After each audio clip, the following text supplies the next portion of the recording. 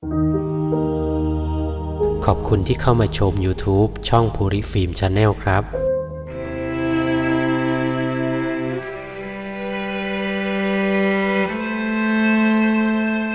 มีความทุกข์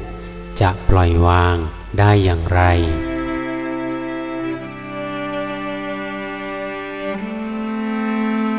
สวัสดีครับคุณผู้ชม คลิปนี้ผมมีกติธรรม และข้อคิด เรื่องของคนที่มีความทุกข์ ว่าจะปล่อยวางได้อย่างไรมาฝากครับ ขอนโมทนาบุญและกราบขอบพระคุณ ครูบาอาจารย์ทุกท่าน ที่ให้กติธรรม และข้อคิดในการดำเนินชีวิต และขอนโมทนาบุญกับทุกท่าน ที่มีส่วนร่วมในการจัดทำคลิปนี้ครับ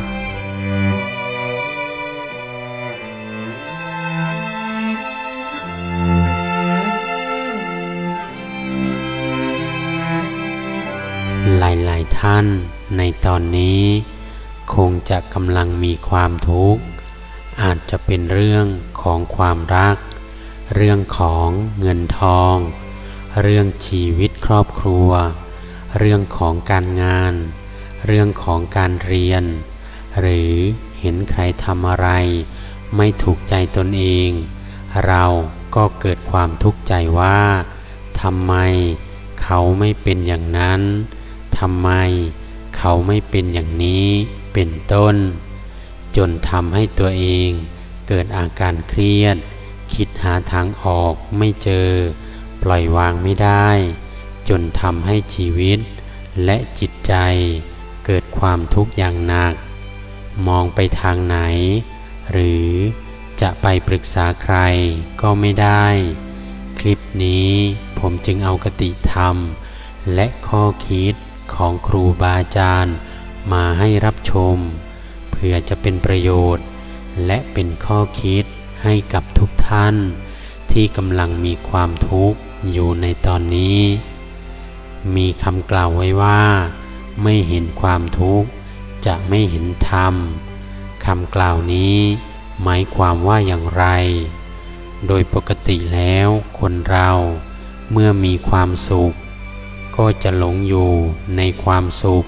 ที่ตนมีอยู่ มีความประมาทว่า สถานภาพเช่นนี้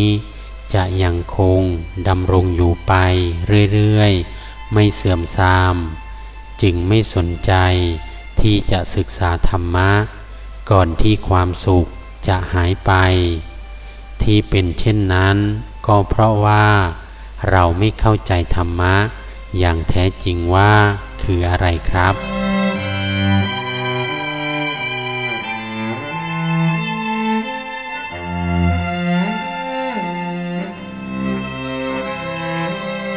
ความที่เราไม่เข้าใจในธรรมะ ประกอบกับมีความเห็นผิดแบบต่างๆ จึงทำให้เราดูหมินดูแคลนธรรมะ หรือดูหมิ่นดูแคลน พระพุทธศาสนา พระสงฆ์ตลอดจน ผู้ที่ปฏิบัติธรรม หรือศึกษาธรรมะ ครั้นเมื่อตัวเราเอง มีความทุกข์ ดังเช่นว่า วันนี้เราต้องพลัดพรากจากบุคคล อันเป็นที่รัก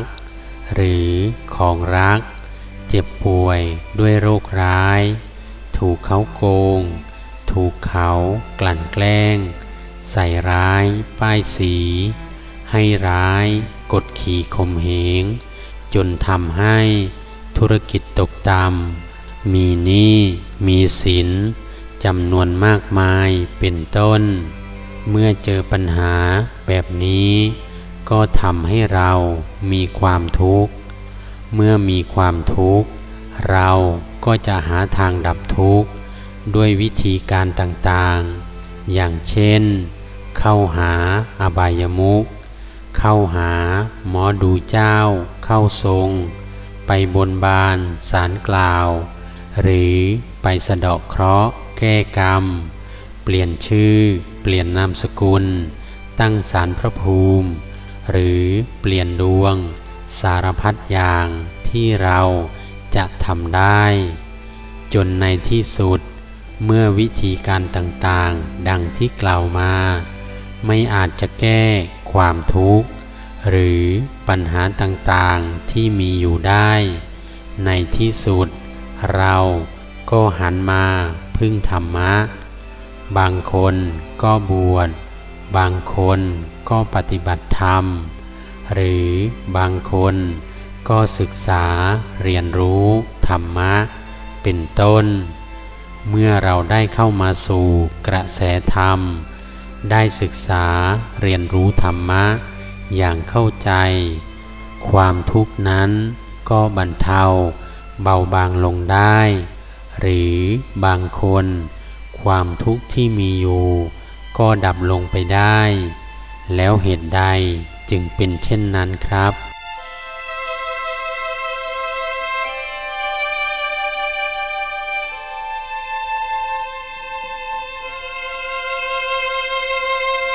การเรียนรู้ธรรมะ ก็คือ การเรียนรู้ความเป็นจริงของชีวิต การปฏิบัติธรรม ก็คือ การฝึกใจให้ยอมรับความเป็นจริงของชีวิต แล้วความเป็นจริงของชีวิตนั้นคืออะไร ชีวิตของคนเรามีร่างกายกับจิตใจ และร่างกายของคนเราทุกคนนั้น ก็จะมีความทุกข์ติดตามมาด้วย ดังเช่นว่า เราต้องหิว เราต้องขับถ่าย เราต้องปวดเมื่อย เราอยู่ในท่าใดท่าหนึ่ง นานๆไม่ได้ เราต้องเหนื่อยล้าจากการทำงานหนัก เราต้องง่วงนอนเป็นต้น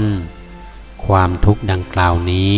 มีอยู่กับเราทุกวัน แต่เรา ก็บำบัดได้ง่าย หรือป้องกันก่อนที่ความทุกข์นั้น มันจะเกิดขึ้นก็ได้ อย่างเช่น เรากินก่อนที่จะหิว เราขับถ่ายก่อนที่จะปวด เราเปลี่ยนอิริยาบถก่อนที่จะปวดเมื่อย เราพักผ่อนก่อนที่จะเหนื่อยล้า หรือเรานอนก่อนที่จะง่วงเป็นต้น เมื่อเป็นเช่นนี้ เราจึงเห็นว่า เรื่องดังกล่าวไม่ใช่ความทุกข์ ทั้งทั้งที่อาการเหล่านี้เป็นความทุกข์ อย่างหนึ่งของร่างกายครับ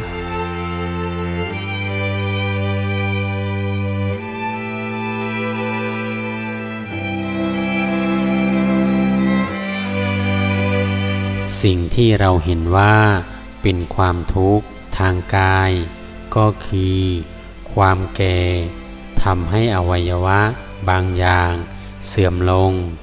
จนไม่สามารถจะใช้การได้ตามปกติทำให้ช่วยตัวเองไม่ได้ ความเจ็บป่วยด้วยโรคร้ายแรงทำให้เจ็บปวด ได้รับความทุกข์ทรมาน และความตาย ซึ่งคนทั่วไปก็ไม่อยากตาย เพราะไม่อยากพลัดพรากจากของรักของหวง แต่เราทุกคนก็ต้องแก่ ต้องเจ็บ และต้องตายด้วยกันทั้งสิ้น เมื่อเป็นเช่นนี้ เมื่อมีร่างกาย จึงมีความทุกข์ ติดมากับร่างกายด้วย เราจะปฏิเสธ ไม่เอาความทุกข์ไม่ได้เลย ราะฉะนั้นเราลองหันมาดูจิตใจของเรา ซึ่งธรรมชาติของจิต มีหน้าที่อยู่สี่อย่าง คือ รับรู้สิ่งต่างๆ ที่มากระทบ โดยอาศัยประสาทสัมผัส ทางตา หู จมูก ลิ้น กายและใจ เมื่อรับสิ่งใดก็จะจำในสิ่งนั้น รู้สึกต่อสิ่งนั้น และคิดต่อสิ่งนั้น แต่ร่างกายไม่มีความคิด จึงแสดงออกในสิ่งที่เป็นอยู่ อย่างตรงไปตรงมา ไม่มีมารยา เช่น หิว ก็แสดงอาการว่าหิวออกมา ง่วง เหนื่อยล้า หรือเจ็บป่วย ก็แสดงอาการนั้นๆ ออกมาให้เห็นเป็นต้น ซึ่งตรงกันข้ามกับจิตใจที่มากด้วยมารยา เพราะถูกกิเลสตัณหา ชักนำให้ลุ่มหลงในสิ่งต่างๆ ที่มากด้วยอคติ ไม่มีความเที่ยงธรรม อยากได้ อยากมี อยากเป็น ในสิ่งที่ชาวโลก เขาชื่นชม นิยมกัน รั้น เมื่อได้ หรือมี หรือเป็นในสิ่งที่ปรารถนา ก็หลงยึดติดในสิ่งนั้น ไม่อยากให้สิ่งนั้นเปลี่ยนแปลงไปในทางเสื่อม และเมื่อสิ่งนั้นเปลี่ยนแปลงไป ในทางที่ตนเองเสียประโยชน์ ก็มีความทุกข์ นอกจากนี้เมื่อปรารถนาสิ่งใดแล้ว ไม่ได้สิ่งนั้น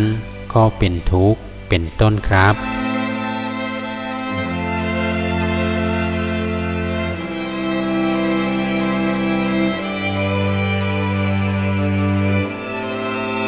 ความต้องการของคนเรานั้น ไม่มีที่สิ้นสุด และสิ่งที่คนส่วนใหญ่ต้องการ ก็ไม่มีจริงในโลก เช่น ต้องการให้สิ่งที่ตนรัก พอใจ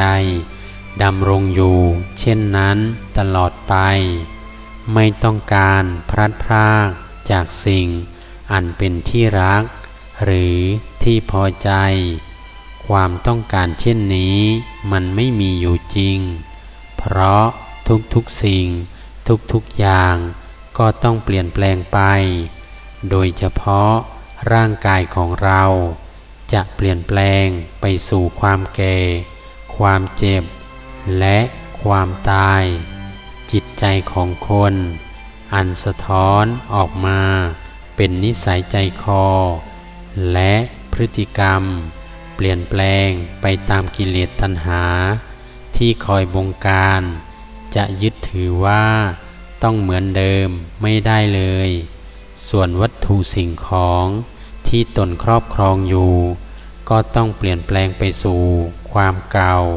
ความชำรุด และสุดโทรมแล้วที่สุดก็ต้องพังลงไปเป็นธรรมดา ชีวิตของเราจึงมาด้วยความทุกข์ บางคนอยู่กับความทุกข์ โดยไม่รู้ว่ามีความทุกข์ บางคน เมื่อมีความทุกข์เกิดขึ้นอย่างรุนแรงแล้ว ก็ไม่สามารถดับทุกข์ของตนเองได้ และตรงกันข้ามกลับทำร้ายตนเอง ให้มีความทุกข์ยิ่งขึ้นไปอีกครับ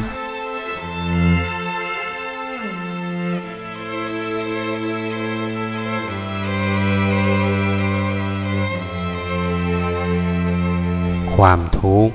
ของคนเรานั้น ก็เป็นเพราะมีใจเห็นผิด มีมิจฉาทิฐิ หรือมีความเห็น ไม่สอดคล้องกับความเป็นจริง ในทางธรรม ความเป็นจริงในทางธรรมนั้น เป็นสิ่งที่เป็นสากล เป็นจริงทุกการสมัย และเป็นจริงต่อมวลมนุษยชาติ ทุกศาสนา ทุกเผ่าพันธุ์ ความเป็นจริงที่ว่านี้ก็คือ 1. ทุกชีวิต เกิดมา มีความทุกข์เป็นพื้นฐาน ไม่มีใครจะหนีความทุกข์ไปได้ แต่หากมีปัญญาก็จะดับทุกข์ลงได้ ทุกทางกายนั้นเป็นเรื่องของสังขารที่ต้องแก่ เจ็บ และต้องตาย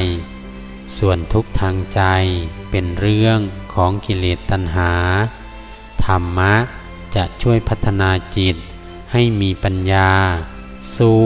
กับกิเลสตัณหาได้ เมื่อจิตมีปัญญาที่เข้มแข็ง ก็จะไม่ทุกข์ใจ แม้ร่างกายจะเป็นทุกข์ แต่ใจของเรา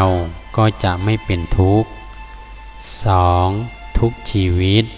สร้างกรรมดีและกรรมชั่ว ซึ่งเราจะต้องเป็นผู้รับผลของกรรมนั้น ทั้งกรรมเก่าในอดีตชาติ ที่ยังให้ผลอยู่ และกรรมในชาติปัจจุบันที่ได้ทำไว้ ไม่มีใครสามารถแบ่งเบา หรือรับกรรมแทนกันได้ 3. สรรพสิ่งทั้งหลาย ทั้งสิ่งที่มีชีวิต และไม่มีชีวิต เปลี่ยนแปลงอยู่ตลอดเวลา คงทนอยู่ในสภาพเดิมไม่ได้ ไม่สามารถบังคับได้ อย่างใจปรารถนา ว่าขอให้สิ่งทั้งหลาย จงเป็นไปอย่างที่ตนพอใจ และอยู่อย่างนั้นนานๆ อย่าได้เป็นไปในสิ่งที่ตนไม่ต้องการเลย ซึ่งมันเป็นไปไม่ได้ครับ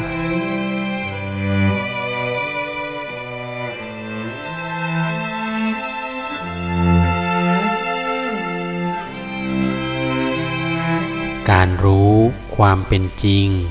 แล้วฝึกใจยอมรับกับความเป็นจริง ใจก็จะปล่อยวาง ความยึดมั่นสำคัญผิด เป็นเหตุแห่งความทุกข์ นอกจากนี้ใจของเราจะยกระดับขึ้นสู่การพัฒนา มีความเกรงกลัวต่อบาป ละอายต่อบาป ขจัดอารมณ์โกรธให้เบาบางลง มีความอดทน อดกลั้นมากยิ่งขึ้น ลดความเห็นแก่ตัว คิดทำประโยชน์ ให้แก่ตนเอง และผู้อื่นมากยิ่งขึ้น ธรรมะนั้นเป็นเสมือนแสงสว่าง ที่ให้คนได้เห็นทางเดิน และนำไปสู่สันติสุขของชีวิตครับ ขอนโมทนาบุญ และกราบขอบพระคุณ ครูบาอาจารย์ทุกท่าน ที่ให้กติธรรม และข้อคิดในการดำเนินชีวิต และขอนโมทนาบุญกับทุกท่าน ที่มีส่วนร่วมในการจัดทำคลิปนี้ และรับชมคลิปนี้สาธุครับ